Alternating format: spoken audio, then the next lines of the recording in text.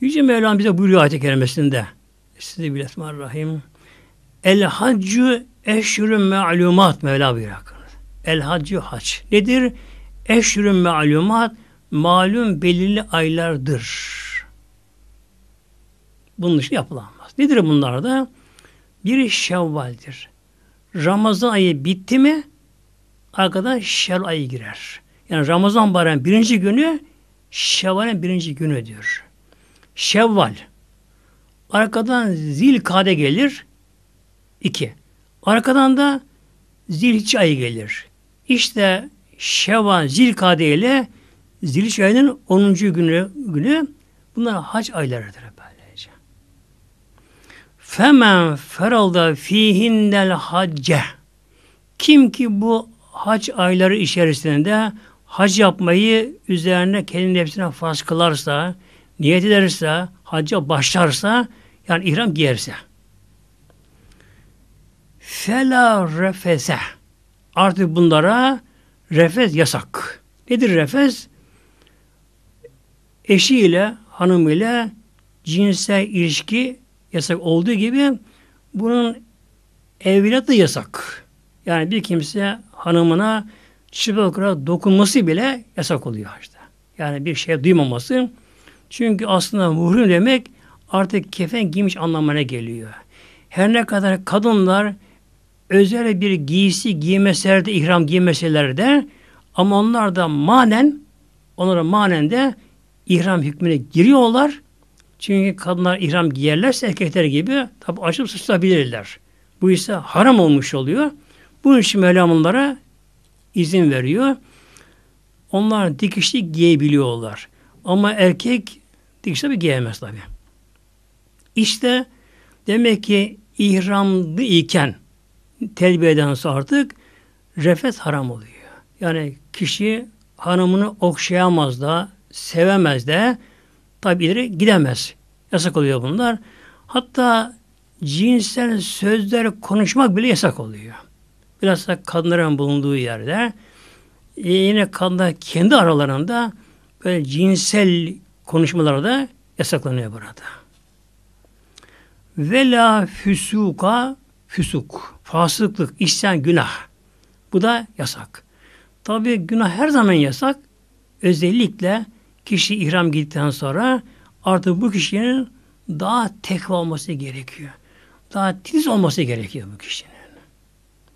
Fakat ne yazık ki yani üzülerek de bir gerçeğe de tabi burada itiraf etmek gerekiyor. Ee, ihramlı olanlar Mekke mükerreme yaptıkları işleri pek uygun olmuyor İslam'da. Mesela kadınlar durmadan tavafa giriyorlar. Durmadan. Tavafa giriyorlar. Hatta bazı kadınlar kendi kendilerine tavafa giriyorlar. Yani erkek yük yanlarında. Tabi zaten muazzam izdiham, sıkıcı kalabalık. Yani erkek her tarafın sürtünmeler, sıkışmalar, her şey oluyorlar. Halbuki bak Mevlam buyuruyor vela füsuka. Bir kadın bulunduğu ülke, yaşadığı ülkeden nasıl korunuyorsa orada daha kendini koruması gerekiyor orada. Her gün koruması gerekiyor. Vela cidale fil hac. Ve haçta cidal de yasaklanıyor. Cidal mücadele, tartışma, yani sözlü tartışmalar. Kişi tabi arkadaşınla, eşinle, işte şunla bunla da ihramlı olan bir kişi ihramlı haldeyken çok sabırlı olması gerekiyor. Kızmaması gerekiyor.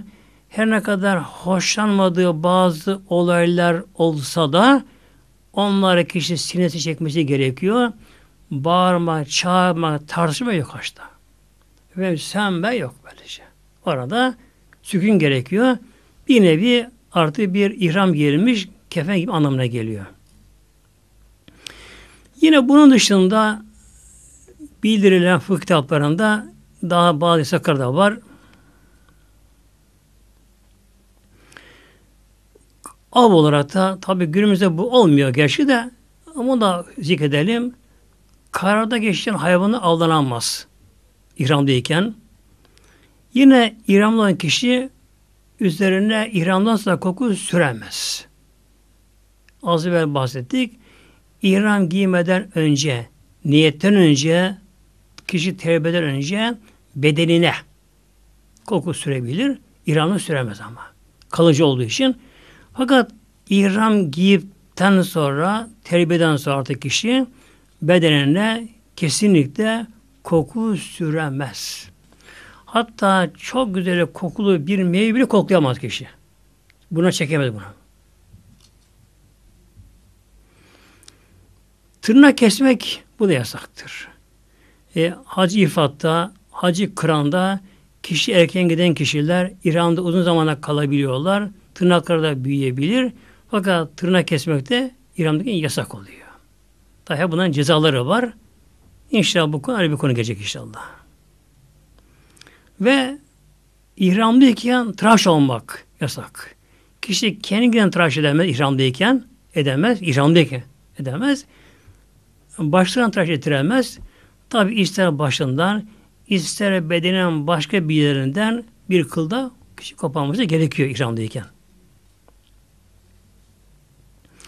Yine ihramlı olan kişi erkekler başını örtemez. Baş açık olacak. Ayak yalın ayak olacak.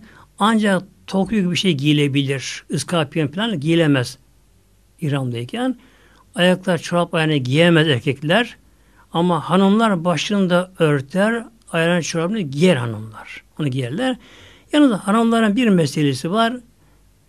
Uyurken olsun yüzünü örtmemeleri gerekiyor ihramdayken.